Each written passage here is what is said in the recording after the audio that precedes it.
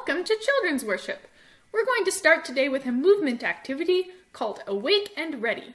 I'm going to do a series of movements and say a series of statements, and you can do your best to follow along. Here's how it starts. I am awake and ready. I am awake and ready. I am awake and ready. Be glad, my brain, be ready and willing. Be glad, my brain, be ready and willing. Be glad, my brain, be ready and willing. Be happy, my hands, reach out to help. I am awake and ready. I am awake and ready. I am awake and ready. Jesus told everyone he met, Repent, stop the bad things you are doing, and start doing good. One day, Jesus was walking along Lake Galilee and a crowd had gathered to hear what he had to say. Jesus got into a fishing boat so more people could see and hear him. Thanks for letting me use your boat, Jesus said. Then he said to the fishing brothers, Simon and Andrew, I want to thank you with lots of fish. Throw out your nets. We'll try, they sighed. Simon and Andrew put their nets into the water. But we fished all night and we caught absolutely nothing, they explained to Jesus. Suddenly, they felt their nets tug. They were overflowing with fish. Rip, pop, snap. The nets were so full they were breaking. The brothers pulled in so many fish that their boat started to sink. Help! They called to their friends in another boat. We have too many fish. James and John rushed to their rescue. The weight of the fish almost took their boat under, too. They all knew that their new friend Jesus must be someone special. He was the only one who told them to catch those fish. Hey, Simon and Andrew! Hey, James and John! Follow me, Jesus called to them. Let's catch people instead of fish. Splash! The two sets of brothers dropped their nets into the sea. They were not fishermen anymore. Now they were disciples. Now they would follow Jesus. Jesus met a tax collector at his office. Hey, Matthew, follow me, Jesus called. Let's collect people instead of money. Clink! Matthew the tax collector dropped his coins to the ground. He was not a tax collector anymore. Now he was a disciple. Now he would follow Jesus. You can find this story in the Bible in the book of Mark, chapter 1, verses 14 to 20. This is a story about God's people for the people of God. Thanks be to God.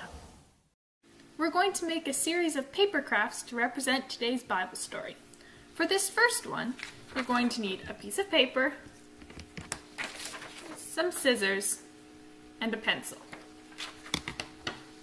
This first one is called a row of disciples. To start, take your piece of paper and cut a long strip.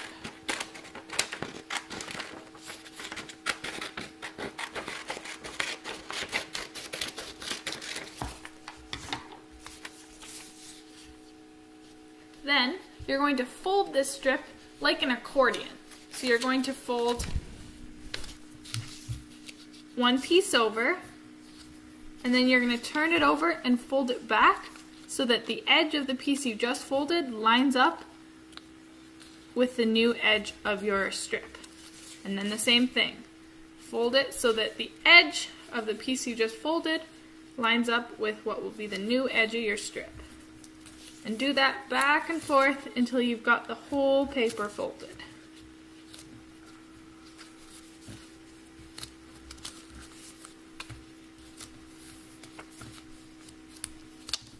If your paper doesn't fold exactly in the number of sections, equal sections, and you have a bit left over like I do, you can just cut that piece off. So now you have this accordion. Now you're going to take your pencil and you're going to draw a person. But you have to make sure that when you draw your person, the arms reach to the sides of the piece of paper and are relatively thick so we can cut them and they won't rip. So I'm going to draw a person like this with some arms that reach to the sides of the paper.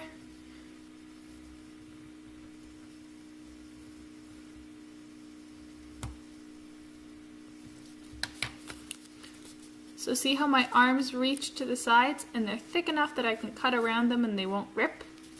Now you're going to cut out that paper figure. So I'm going to cut out the bottom of the legs first.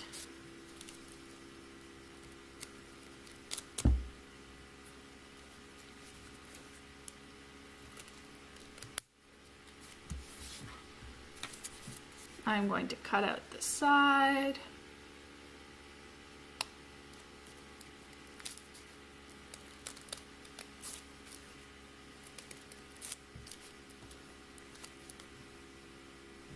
And now the head.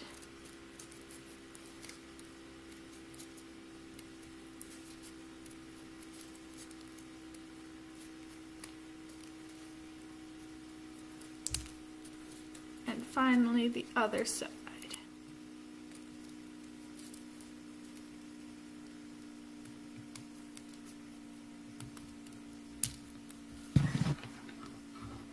So when you're done cutting, it should look like that. Then you can unfold your row of disciples.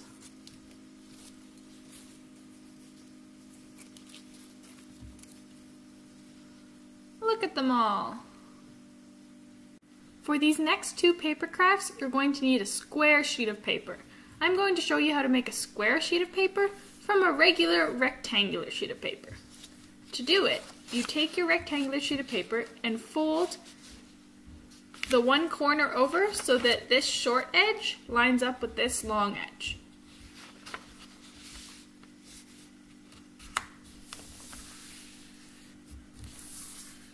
So it'll look like that. You'll have a triangle that's folded over.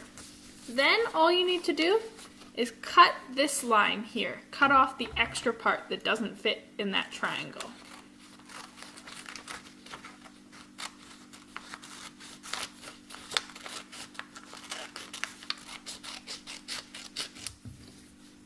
Then when you unfold it, you have a square. The second paper craft we're going to make is a boat.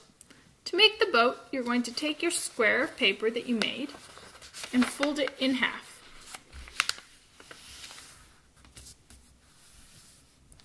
Then fold it in half again.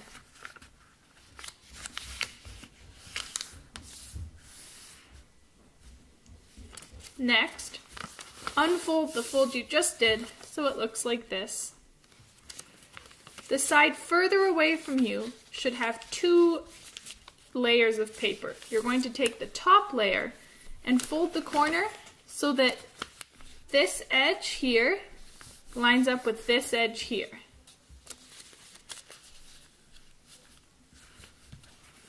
It looks like that. Then you're going to do the same thing on this corner. So take the top layer and line up the outside edge here with this edge here.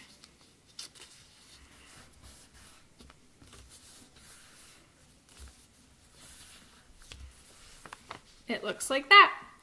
Then flip your paper over and do the same thing on the other side. So fold the corner so that this outside edge lines up with this crease in the middle. Same thing over here. This outside edge lines up with this crease in the middle.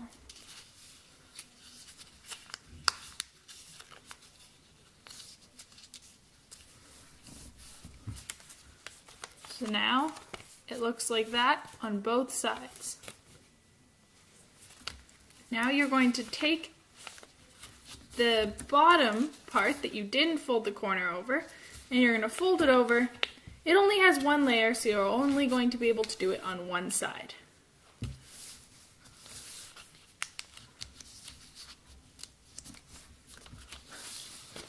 Now it looks like this. Now you're going to take that top part that has two layers and you're going to fold it down towards you. So it covers up all these corners that are folded. When you fold it down, it'll cover those up. Like this. Then do the same thing with the other part that's still at the top. Fold it down and back so that your paper looks the same on both sides. So now, this part that's bigger, that's the top of your boat. This part that's smaller, that's the bottom of your boat. And then you just have to open up your boat like this. Careful you don't pull too hard on the ends because you could pull the folds out. And you can pull out the middle and kind of shape your boat until you have a boat like this. You might need to lean your boat up against something to get it to stand up because it doesn't stand up very well. Then if you want, you can take your disciples that you made and put them in your boat. For the last paper craft, we're going to make a fish. For this one, you'll also need a square of paper just like you did for the second one. Once you have your square of paper, you're going to fold it in half. This is the same way we started for the boat. Except for this time, you're going to unfold it again so you have that crease or that line where your fold was. Then you're going to fold it in half the other way.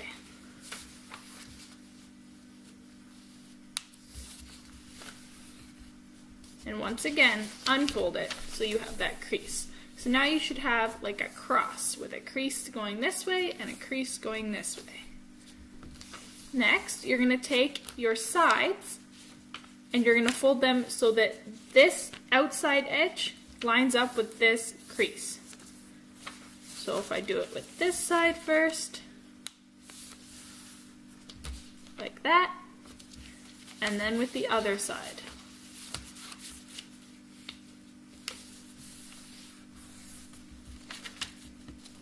Just like that. Now, you're going to take the top and the bottom edge and fold them to meet this crease in the middle. So almost the same thing you did before. So fold this so it matches that middle crease that was there. And then the same thing with the bottom. So now you have this square of paper. Now, unfold those folds that you just did, the top and the bottom ones. So you're back to here, except for now there's eight little squares that make up your rectangle. Now this next step is a little more complicated, so I'll go a bit slower. This bottom part, where you have these two flaps that come up, you're going to fold those so that this edge, so if you go in the middle part where your two flaps, two big flaps come together, that edge in the second square is going to line up with this edge, the middle of your long rectangle on the same side. So if you take this and you pull it outwards, then this part right here is lining up with the middle. And then you push it down. So it's going to look like this. And then same thing on the other side. So, unfold it a bit. This edge right here is going to line up with this edge right here. So you do that by folding it out like that. And then flattening it down again. So it looks like this. If you didn't catch it, we're going to do it on the other side as well, so you can try again. So this edge right here is going to line up with the middle right here. Fold it out and then flatten it down. Now you have that point again. Same thing here. We have this flap, and this edge is going to line up with this edge.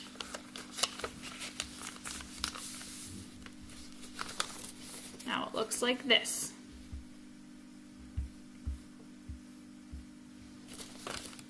Now you're going to take on one side those points that you have, like this, and you're going to fold them back so that you flatten them out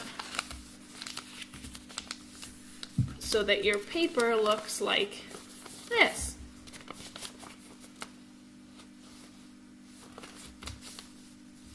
Now, the next part, you're going to take this corner right here and fold it to the middle right here. So in other words, this edge with this edge.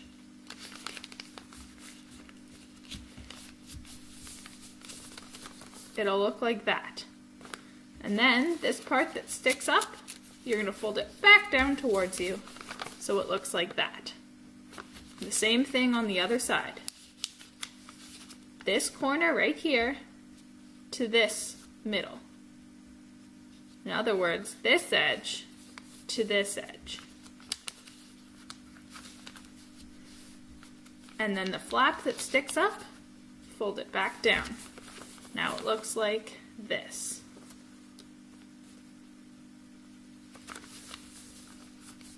Now you're going to take these big parts here and you're going to fold them almost so that this part here, this edge, lines up with this edge. These edges are parallel, if you know what that word means. But not quite. You want to leave a little space. So see how I'm folding it so that this edge lines up, but with a little space in the middle? That's exactly what you want to do. And then the same thing over here. So if I turn my paper around so you can see, I want this edge to line up with this edge, but with a little space in the middle.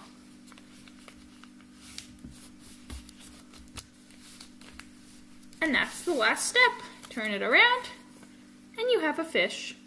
Now that you have your boat with your disciples in it, hopefully they all fit, unlike mine, and you have your fish, you have all the parts of the story.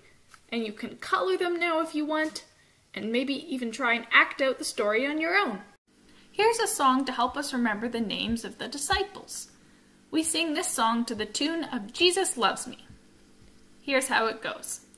Jesus called them one by one Peter, Andrew, James, and John. Next came Philip, Thomas, too, Matthew, and Bartholomew. Yes, Jesus called them. Yes, Jesus called them. Yes, Jesus called them, and they all followed him.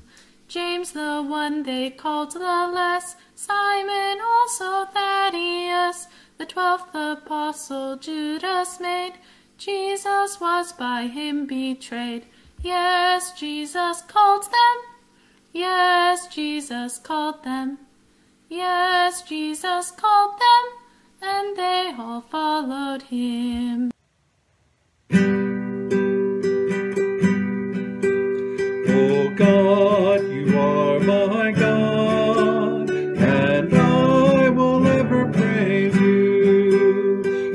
God,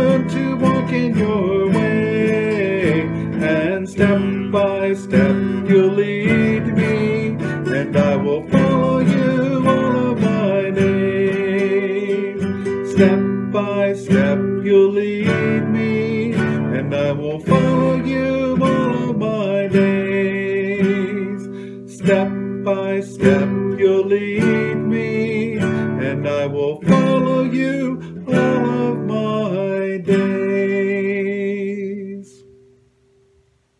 We're going to do the same movement activity we started with, but we're going to do it in a more calming and centering way. Here's how it goes I am awake and ready. Be glad, my brain, be ready and willing. Be happy, my hands, reach out to help.